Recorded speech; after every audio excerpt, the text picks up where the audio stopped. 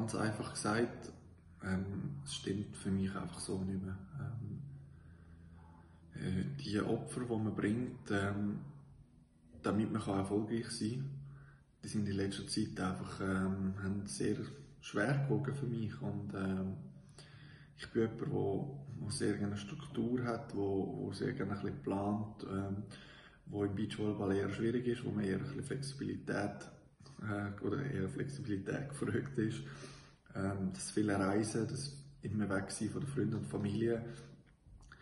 Ähm, ja, es hat mir immer mehr Mühe gemacht und irgendwie hat am Schluss hat es irgendwie nicht mehr gepasst. Es war überhaupt kein einfacher Entscheid gewesen, aber ähm, ja, ich glaube, es ist der richtige.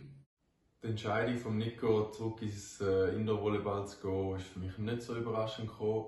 Ähm, ja, wir haben viele Gespräche geführt, auch schon Ende letzter Saison. Wie können wir erfolgreicher sein oder konstanter erfolgreicher sein? Also ich meine, wir haben schon sehr schöne äh, Erfolge gehabt und halt sehr hohe Ziele.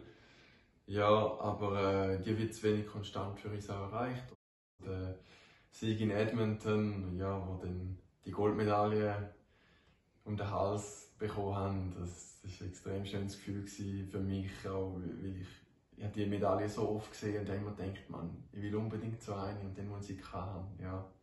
Haben sie nicht nur mit zum Schlafen abgezogen. Ich bin extrem dankbar, dass ich das so machen durfte und ähm, ja, irgendwie ein grosser, grosser Dank geht an Marco, an Alexei, an, an den ganzen Verband, an, an mein ganzes Umfeld, wo, wo mich da ja, immer begleitet hat, weil schlussendlich ähm, ja, sind zwar zwei auf dem Feld gestanden, aber es sind viel mehr dahinter und ähm, ohne all die wäre das nicht möglich gewesen.